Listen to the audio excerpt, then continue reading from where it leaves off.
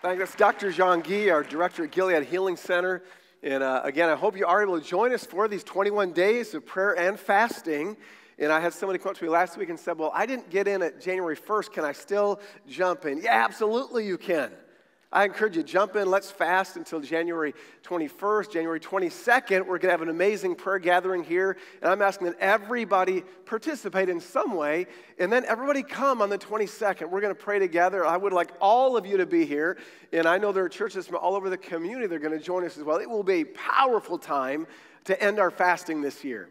So looking forward to that. Hey, let's pray. God, thank you for the privilege we have to gather and worship. And Lord, I ask that in the next few moments we have together, that God, you'd come visit with us, speak to us. God, give us ears to hear what your Holy Spirit has to say. God, work something grand from your kingdom on the inside of us on this day. And I pray again, Lord, that miracles will be released into the lives of every person. God, I ask it and I thank you for it. In Jesus' name, amen.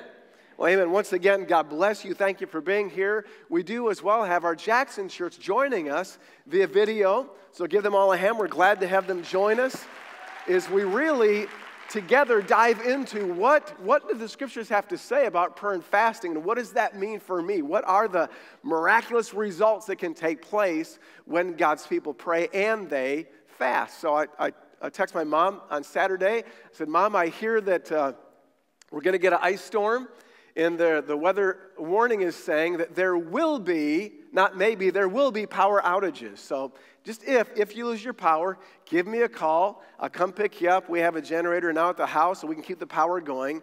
And mom responds by saying, I'll just plan on still having power. Okay, that's mom. It's actually not just power, it's actually thinking about even having more power. Well, more, how do you get more power? Well, she goes on to say, Well, you know that where there's praise, there's power. I said, Mom, you got to have power in your house. I mean, if the whole city went dark, mom's gonna be praising, and it seems like the lights are still gonna be on. Didn't we learn last week as we took a look at God's word that when King Jehoshaphat called an entire nation to pray and to fast, and they faced something that would be impassable, something that would be impossible. And in the midst of impossibility, God spoke. Don't you love it when God speaks in the middle of your impossibility? Yeah, God speaks in the middle of the impossibility. So God spoke and, and said, Hey, I'm going to take care of everything. And, and while they were heading out toward the army that they could not defeat by themselves, well, God had said, Hey, you're going to go out, but you're not going to have to fight because I'm going to fight for you. Just go out there. So while they're going out there, say, go out. It's really important this year that in your going out, there are miracles with your name on it. While they were going out there, King Jehoshaphat said, Hey, believe in the Lord your God, and you're going to be established. Believe in his prophets, and you will succeed. It's like Jehoshaphat had to say, Hey, just remember, like, I know we're going out and it looks like we're going against what is impossible, but you've got to remember that with God, everything is possible if you will just believe in God. And then they did something really unusual. All of a sudden, they, they decided, hey, we want to put at the front lines of this battle, a battle that God's gonna fight, we want to put people who are gonna sing and praise there. So I'm going to get some singers out in front. Isn't that unusual? And it wasn't like, let's get the singers out there so they get shot first. Well, that's not what they were doing. They were just saying, just get the singers out there. Why? Because there's power when we praise. They were so convinced God would do what He said He would do. We want to start praising Him ahead of time and not wait until we see it. Do you know that on the other side of this word, unusual, there are miracles for you in 2020. It's on just the other side of what's unusual. If you will dare to do the unusual, you can expect the extraordinary. They dared to have unusual faith. And then they dared to do something extremely unusual, and that's to sing on their way to a battle. And it is Second Chronicles 20, 22 that tells us at the moment, say at the moment. Yeah, at the moment they began to sing, God turned everything around for their good. So it's true that as we venture into this year and we do the unusual, hey, we too can expect the extraordinary. And I'm, I'm so expecting miracles to be released into your life, I'm already anticipating a line of people, a line, a line of stories of what God has done for you. Already this morning at the early service, somebody said, Already, we're not even done fasting yet, and I'm already seeing the answers begin to roll in. Isn't that good news? Yeah, I'm expecting the answers to your prayers to begin to roll in. Family members that, that need to be born again, they've been away from God, they're coming home. And I can't wait to hear about that fractured, broken families being mended, restored, healed. I can't wait to hear that story. Sick bodies that have been revived and are now healthy and whole. Man, I can't wait to hear your story about that. I'm expecting miraculous provision and divine turnarounds all coming your way. So I'm expecting, hey, do you know that I believe this? We're supposed to live in a state of constant expectation. And I mean expecting good. Some people live in a constant state of expectation. They're just expecting something bad. They're expecting, I expect to not get this promotion.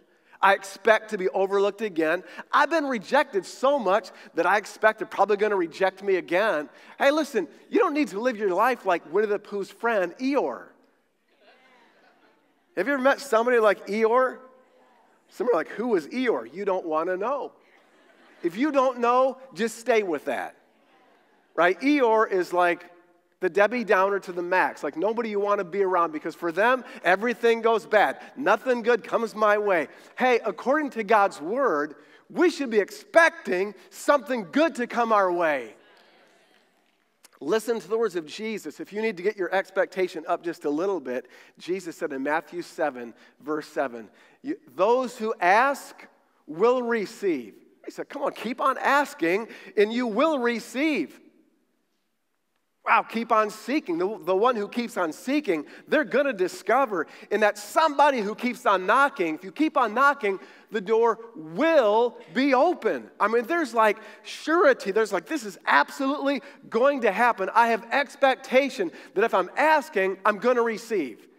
If I'm seeking, I'm going to find. If I'm knocking, the door will be opened hey, this whole year, you're meant to live a life of constant expectation. Expect that miracles are indeed coming your way. Expect that God has something good coming your way, even when you don't see it yet. You can bust out in a thank you to God because you so believe in God, you believe in what He said, that you're filled with expectation. I encourage you, do something unusual and join us in this fast. And also, I would ask you to join us on Wednesday night. Wednesday night is our prayer gathering here at the Hope. And I encourage you, to come. You say, Pastor Kev, I don't normally come. Perfect. Then it would be unusual for you. And if you do the unusual, you can expect the extraordinary. Oh, but Pastor Kev, I've got a busy week. Yep, I have, I have a busy week too. But I, I happen to believe there is power when God's people pray. I believe that when two or three are gathered in his name, like I believe that. So I know as we gather together and as we pray and seek God, we can expect miracles to be released into our lives, our homes, our families, our church, and this whole community. And then on January, Wednesday, January 22nd, we have churches from all over the community that will gather with us. But I don't want just them here, I want you here. Let's fill this place and make it hard for them to find a spot. Can we do that? I'm expecting good things to come your way. Hey, we're going through the book of Romans right now. We've kind of paused at a point in Romans because we found this, this word prayer and this attitude of expecting. We read this in Romans chapter 12, verse 12. Rejoice in our confident hope. This is how believers live. This is how we behave in God's house and in his family. If you're follower of Christ, this is how Christians are to be. We rejoice in a confident hope, we're patient in trouble, and we keep on praying. We don't quit, we just keep on praying. I love the way the message says it says, uh, Be alert, servants of the master, cheerfully expectant. Don't quit in hard times, just pray all the harder. Isn't that beautiful? So, what do we do? We keep on praying. And as we said last week, nobody keeps on praying unless they keep on expecting. And we're to live a life, and we keep on expecting. We keep on praying because we keep on expecting a breakthrough. I keep on praying because I keep on expecting that God is going to come through. So I want to encourage you in this season of prayer and fasting, keep on praying. Some of you have had things you've prayed about, you've asked God for, it hasn't happened yet. Didn't seem to work out. I want to encourage you hey, listen, there's still a miracle for you. It may not have turned out the way you thought, but listen, God's not done with you. He is still a miracle working God. I encourage you, keep on praying and keep on believing, keep on expecting. There's something unusual uh, that we can add to our prayers. Whoa, I have no idea what that was, but the Lord really wanted you to wake some of you up. Hey, prayer! This is important. You were nodding off. He said, Stop! So, uh, this is so important that we add to our prayers fasting. You can't talk about the call to keep on praying without the biblical call to keep on fasting. Can't talk about prayer. Here's what you'll find there's this, this beautiful combination throughout scriptures that you find, and that's prayer and fasting. And when you mingle prayer and fasting together, you can expect the extraordinary. When you do something as unusual as abstain from food for spiritual purposes, not forever, but for a season. I'm going to abstain from food for a season for the purpose of, for spiritual purposes. I mean, you can expect miracles. You can always expect there to be a whole trail of miracles that follow a season of prayer and fasting. Bill Bright said it this way combining fasting with prayer can result in a spiritual atomic bomb that pulls down strongholds and releases the power of God in your life, in the life of your church, its pastor, its leaders, and its member members. We learn that fasting is talked more about in the scriptures than water baptism. And yet, so many churches who believe in water baptism ignore this biblical practice called fasting. We know that Jesus fasted. We read in Matthew 6, Jesus said, When, not if, but when you give and when you pray and when you fast. So Jesus expected that people would fast. We know Jesus fasted for 40 days before he entered into his ministry a lady named Anna who was in her 80s. It says in Luke chapter 2, verse 37, that she lived, she lived out her days night and day, never leaving the temple, doing what? Praying and fasting. Isn't that interesting? The Apostle Paul, it says in Corinthians, that he was often found fasting. 2 Corinthians 11, 27. Leaders in Acts 13, it says that they were praying and fasting before they sent Paul and Barnabas.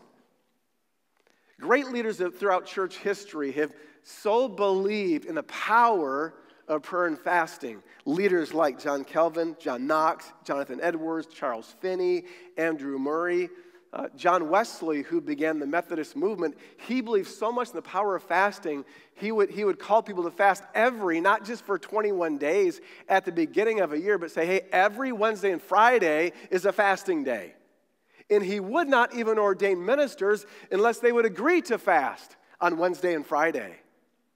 Derek Prince, speaking of the power of fasting, put it so well. He described fasting as a lesson that establishes who is the master and who is the servant. He said it Well, remember, your body is a wonderful servant, but a horrible master. But what fasting does is that it lines up, it puts in order the way things should be. The Apostle Paul said there's always this inner struggle between the flesh, our body, and our carnal selves, and the spirit. And we're supposed to be led by the spirit. So, one of the things fasting does is say, hey, body, hey, flesh, you don't get to be in the driver's seat.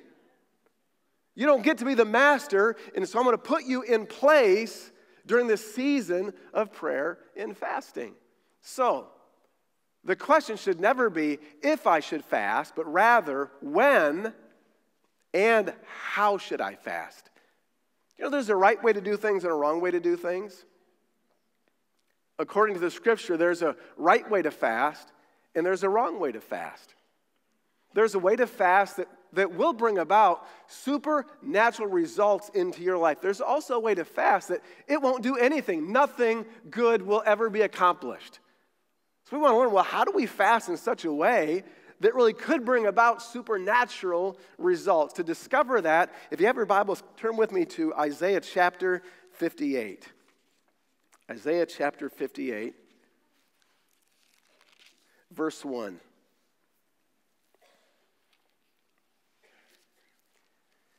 Shout with a loud voice of a trumpet blast. Shout aloud. Don't be timid. Tell my people Israel of their sins. Well, isn't that exciting right there? Like I should have advertised this. Hey, come, because we're going to tell you all about your sins.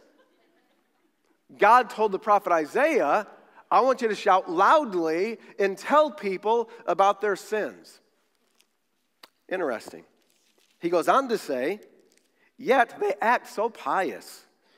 They come to the temple every day and they seem delighted to learn all about me. They act like a righteous nation that would never abandon the laws of its God.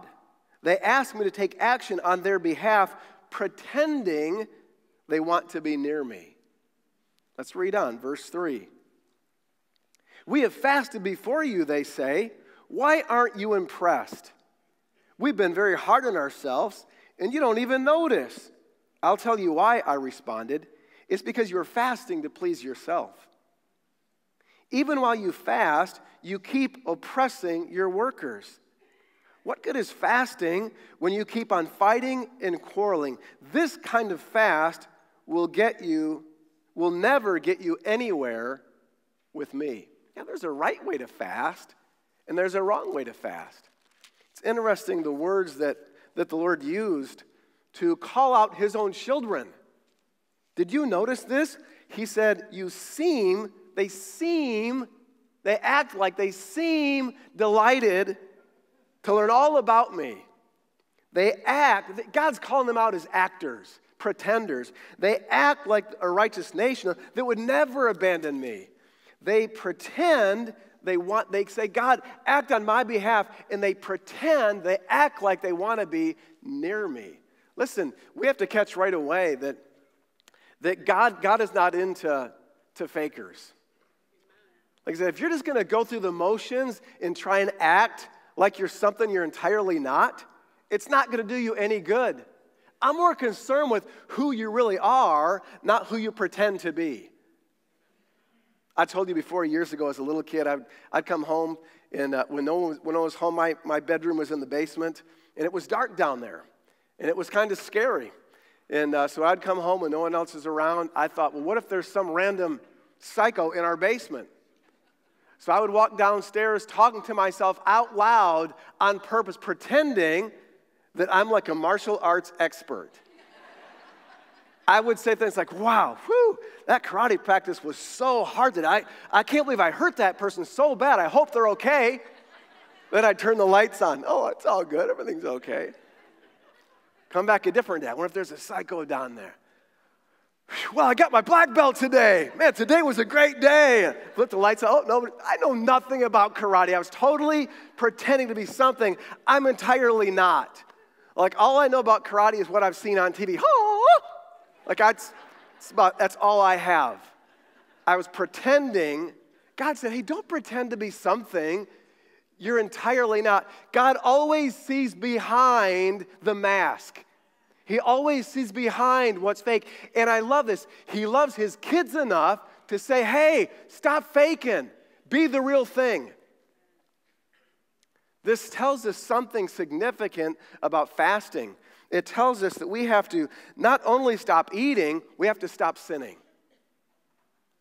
Don't just stop eating, stop sinning. Don't just stop eating, don't just stop eating food. It would be better if you would just stop sinning.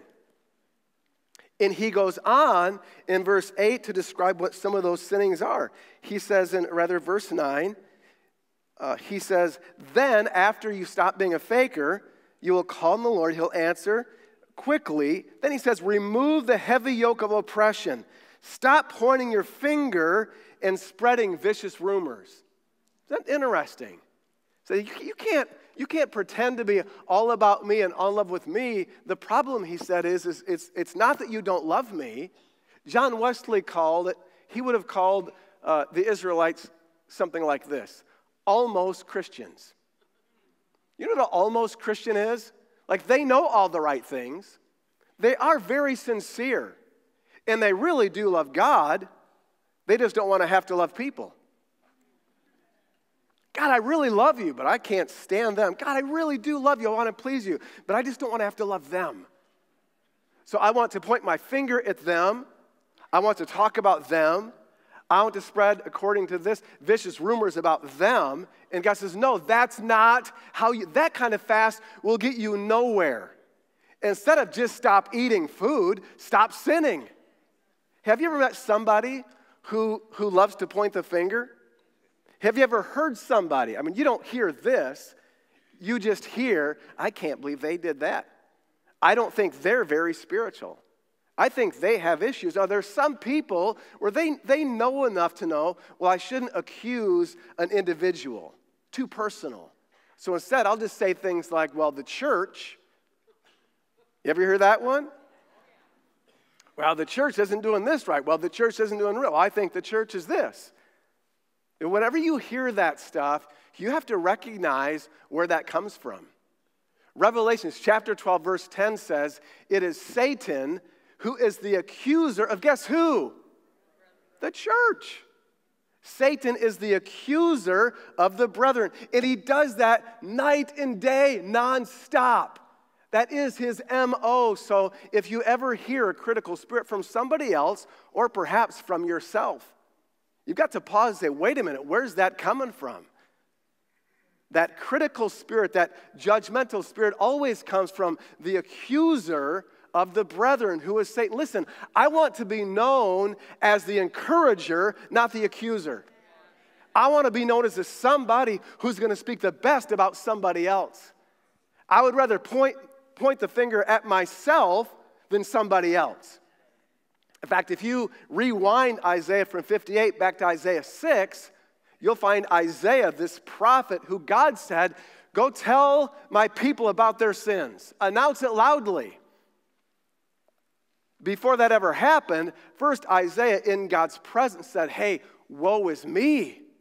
I am a sinful man. Like my lips aren't clean. God, I need you to clean me. There was a humility there not a judgmentalism. So, hey, if we're going to fast the way God wants us to fast, a way that actually can result in something good coming to you, your family, our church, and our whole community, you got to not just stop eating, we have to stop sinning. Reading on verse 4 again, let's read that again. What good is fasting when you keep on fighting and quarreling? This kind of fast will never get anywhere with me. You humble yourself by going through the motions of penance. You bowing your head like reeds bending in the wind. You dress in burlap and cover yourself with ashes. Is this what you call fasting? Just acting like you're sorry, acting like you're very humble. Do you really think this pleases the Lord? No. This is the kind of fasting I want. Free those who are wrongly imprisoned, lighten the burden of those who work for you. Let the oppressed go free and remove the chains that bind people.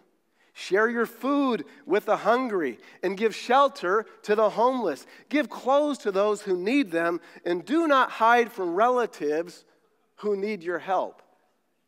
Isn't that kind of weird you'd even have to say that?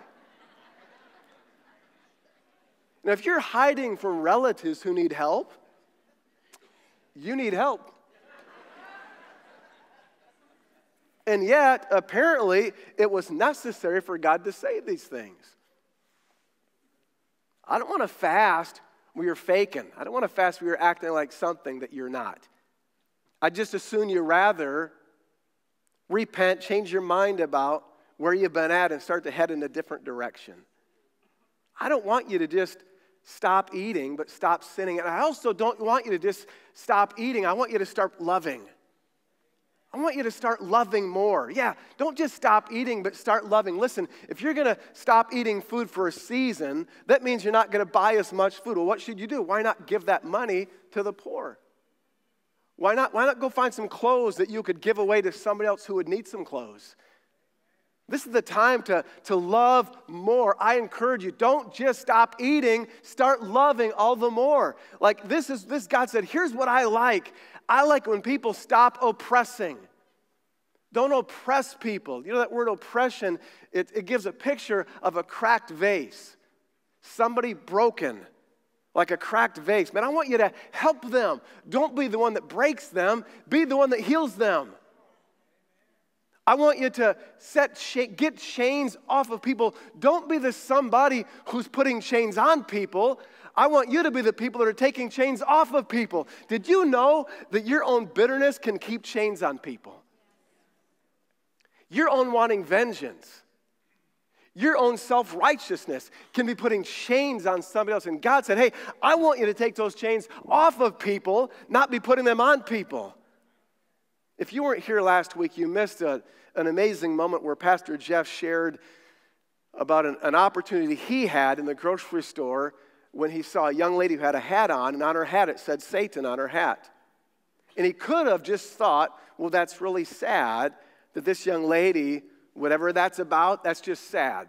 Oh, God, help us. Our community really needs help. And he could have walked out thinking that. Instead, he saw somebody, I don't know their story, and neither did Jeff at that time, but, but somebody who obviously there's some oppression there. There's some chains there. And so, in a moment, he just said, Hey, God, what can I do? And in a moment, he decided, I'm going to buy her groceries. And then he said some words. Listen, what she needed at the moment was not to be judged, but to be loved. What most people need is not to be judged, they need to be loved. So he chose, I'm going to love. And God says, That's the kind of fast I want. And so, by a simple act of love, hey, can I buy your groceries? Yeah in a simple act of love. And then after the groceries are bought, he said, You know what? You've probably heard a lot of people say things to you in the name of religion. Hey, I just want you to know that Jesus loves you. And with tears running down her face, she reached out her hand for a handshake. I'm just telling you, at that moment, chains were coming down. At that moment, oppressed people were being set free. The love of God sets people free. God says, That's the kind of fast I'm looking for. And listen, this is what, as a follower of Christ, if that's who you are, that's what we get to do. Through our prayers, we get to set captive people free. Through our love, we get to take chains. Hey, through our love, we should hear chains dropping on the people we get to be around. God says, that's the kind of fast I'm looking for. Don't just stop eating, stop sinning. Don't just stop eating, start loving. Start loving at a whole new level. Now, quickly, the, Isaiah gives us some now benefits. The Lord says, Here's some benefits now of fasting in a way that pleases me. No pretending, no faking, being the real deal. Isaiah 58, this brings us now to verse 8. Then your salvation will come like the dawn. Say the word then. Yeah, whenever you read the word then in the Bible, you've got to back up and say, well, then what? What happened that made us say then?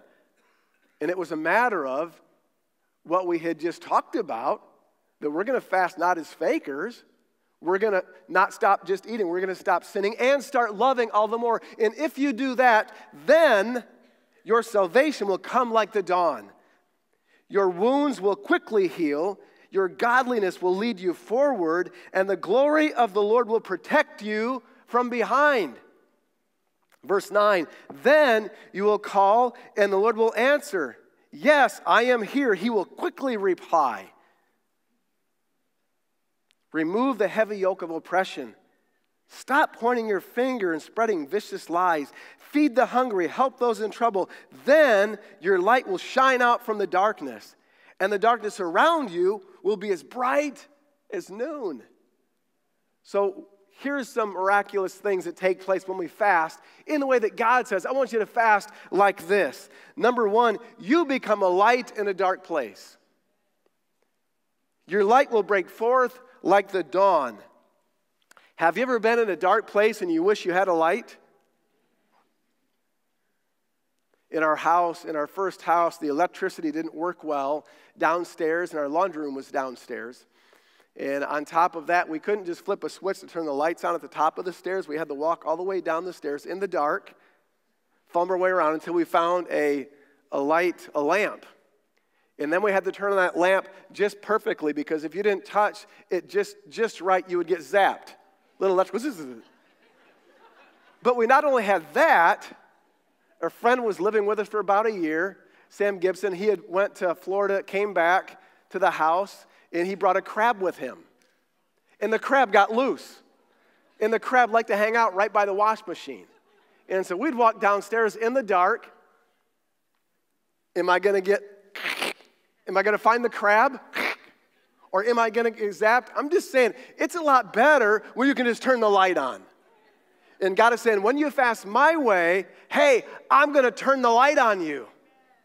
You're going to be like, like glowing in the dark in the midst of darkness, you're going to glow with light. God said, I'm going to bright up your pathway. What a beautiful promise that God promises that He will turn on the light for us. Second, there's that promise of healing. Your wounds will heal quickly. The, the Hebrew word there gives a picture of a plant sprouting up quickly, that healing is going to begin to sprout up in you quickly. Some of you need a physical healing. Some of you have wounds on the inside and you need to be healed there. God said, hey, when you fast the way I'm calling you to fast, you can expect and plan on healing to come quickly to you. Also, there's a promise of divine guidance. Isaiah 58 11 says, The Lord will continually, rather, will guide you continually, giving you water when you're dry and restoring your strength. You will be like a well watered garden, like an ever flowing spring. What a beautiful picture to, to say, God, I need you to guide me. Like, show me what's the right thing to do. What's the, what's the right way to go here? God says, Hey, I promise when you fast my way, I will continually guide you. And I will, I will water you like a garden. You know, that's a picture of you just being watered for yourself. But when your life becomes like a spring, that means, man, I'm here for somebody else too. I have a blessing of overflow. I'm so blessed, I get to be a blessing to somebody else. There's the promise of divine protection. Your godliness will lead you, and the glory of the Lord will protect you, surround you from behind. This is a great picture of what happened to the Israelites when they were, and God was reminding them of this. In this verse, we read in Isaiah that when Israel was stuck with the Red Sea here, that they could not pass, in the Egyptian army back here, if you remember reading that story, you can read it in Exodus chapter 13 and 14, that it says God showed up, his glory showed up like a cloud, and all of a sudden that cloud, when the enemy came from behind, it just moved and went right behind them. Would you like some angelic and some supernatural protection in your life? Oh, absolutely. I want that for my children, grandchildren. I want that for you. And one of the rewards of fasting is supernatural divine protection over your life and your home. There's the blessing of prayers that are answered quickly. And then lastly, in verse 12, it says this Some of you will rebuild deserted ruins of your cities. Then you will be known as a rebuilder of walls and a restorer of homes. You can become a restorer of people through fasting God's way. Every day, we pass people that are fractured, and they're broken, they're in chains, they are oppressed of the devil every day we have the opportunity, say, I want, I want to be known as not somebody who tears other people down. I want to be known as somebody who's building other people up. I want to be known as the rebuilder and the restorer of lives. And it's a promise for those who will fast God's way, they can be a restorer of people. I want that for me, and I want that for you too. Isaiah chapter 58, verse 1. all this began with Tell my people Israel of their sins. The only reason God ever wants to tell his kids about their sins is because he loves them. The only reason God ever wants to point out a sin or a wrong in somebody, whether that is, is, is Isaiah said specifically, you know, slandering, gossip, spreading rumors. The only, reason God will ever point that out, wrongly treating people in some way, he'll only point that out because he wants better for his kids. He says, Hey, kids, you're not going to get the rewards of fasting that you want and that you need if you keep on like this. So, because I love you so much that I want you to, I want you to see your behavior begin to shift and make a change with that. And so, it would be wrong this morning for us to read this in God's Word and think, well, that was really good for those sinners. They really needed to hear that. Praise God. And I can think of five other people right now that should have heard that. If that's you, you needed to hear that this morning. Oh, the truth is, we all need to hear that. First John says, if you think you're without sin, you deceive yourself. The fact of the matter is that during fasting, physically with our bodies, toxins begin to come to the surface of our bodies.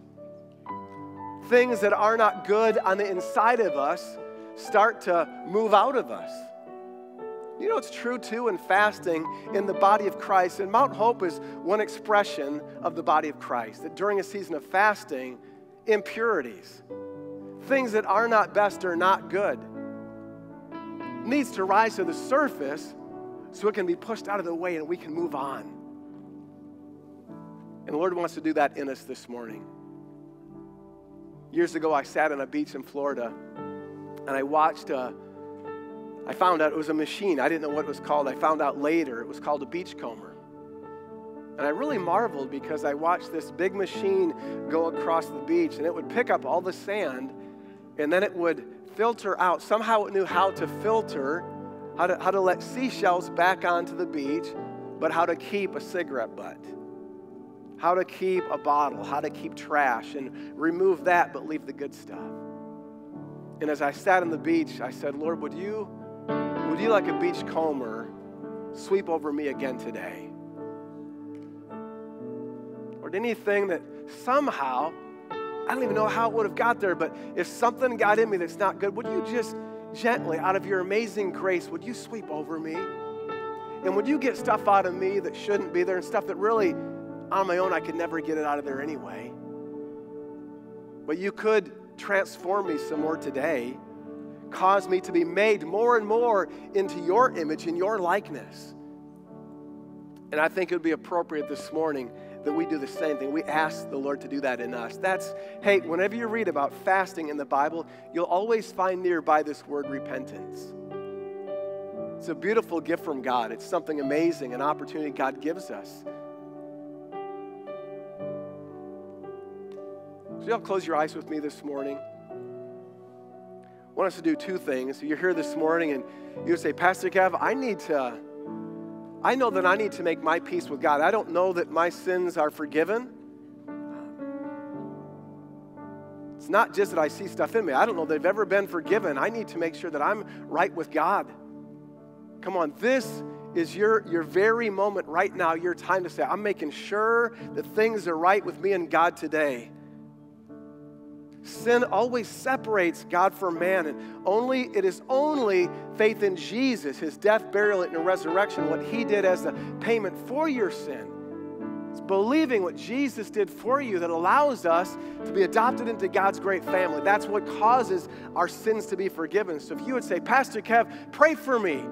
I need to know my sins are forgiven. Man, I want to pray a miracle prayer with you. Your sins get wiped out today. If that's you, I'm going to ask at the count of three you to shoot your hand up just as fast as you can. Are you ready? Without any delay. One, two, three. Go ahead, shoot your hand up. I want to see who that is. I'm going to pray with you today. In the main floor, in the balcony, just wave it at me. It'll help me see you so I can see. Thank you very much. Thank you.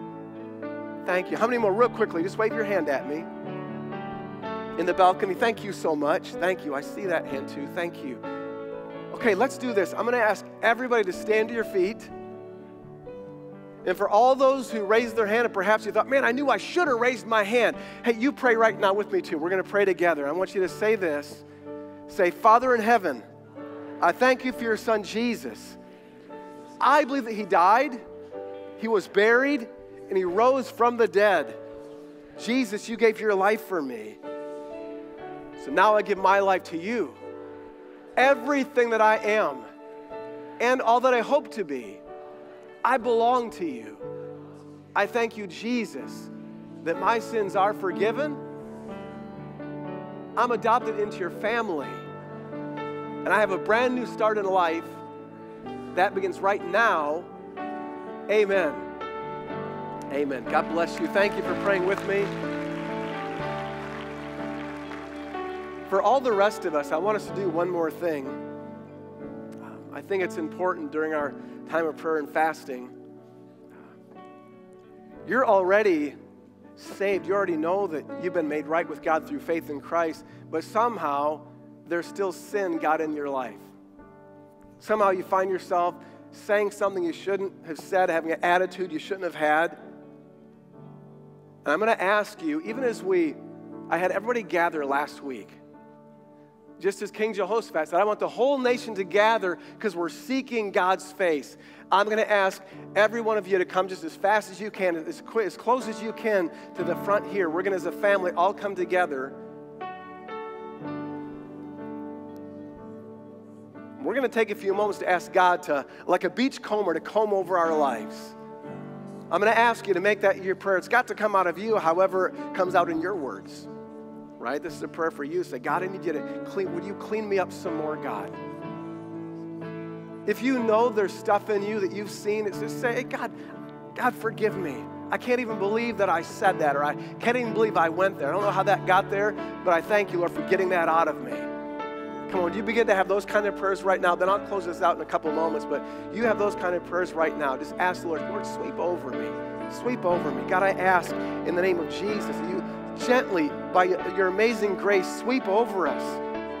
Beautiful sweep of repentance and cleansing by the power of your Holy Spirit.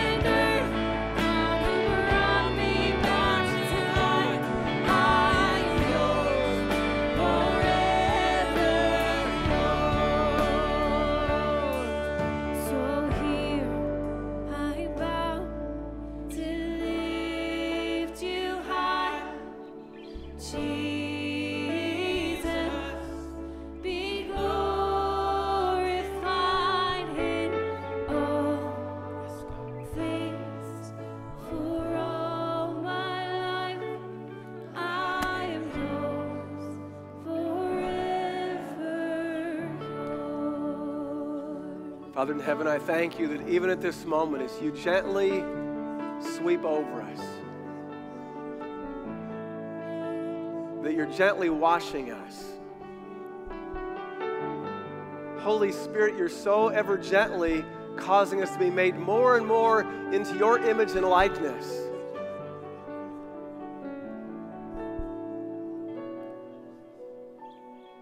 That we can be children who look like their Father. Thank you, God. Thank you for what you're doing deep on the inside of us. Lord, it's because of your amazing grace that we get to walk out of this place today choosing not just to stop eating, we're going to stop sinning. We're not just going to stop eating, we're going to start loving even more. And Lord, I pray that those that have been oppressed, it feels like their lives are cracked and broken, that they would be, even in this room right now, that they would be healed in the name of Jesus. I call for every chain that has been wrapped around them to come off in Jesus' name. God, let there be throughout this season of fasting waves and waves of massive deliverance and freedom.